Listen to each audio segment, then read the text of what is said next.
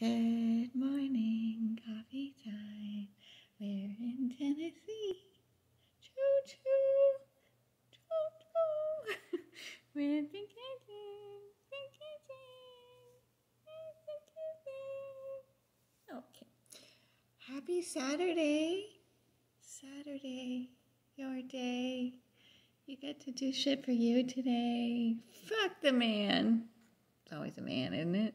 Just fucking with you whatever. Your boss might be a lovely woman or a lovely man or whatever. Let's not go down that route. So, yeah, what's our happiness action? Get back in touch with an old friend you've not seen for a while. Okay, I did that the other day. Unfortunately, it was due to having to pass along sad news that a mutual friend had died, so that sucked, but it was nice to get back in touch with an old friend. Um, yeah, I don't know that you can actually go visit people anymore, but texting, email, call, all that shit. Send a fucking letter, smoke signals. She's very comfortable.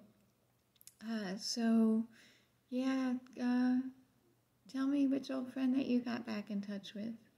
And if you don't have an old friend to get back in touch with, then I don't know, try to make a new fucking friend that you can eventually cast aside and have to feel guilty about later that you haven't been in touch with in months, years.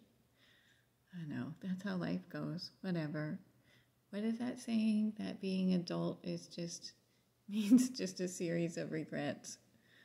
That's what the definition of adult is regret. That's fucking not happy. God damn it, Wendy. Let's end on a positive note. I love you guys. I'm going to the gym. Yay!